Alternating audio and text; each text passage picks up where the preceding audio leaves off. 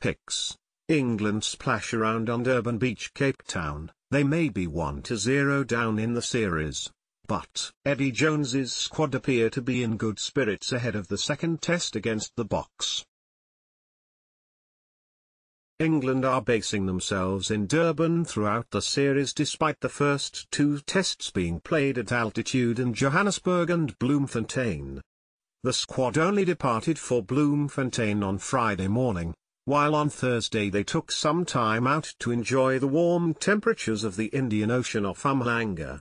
Always professional, the English used the opportunity to get some practice in and found a rather unconventional method of doing some line-out drills.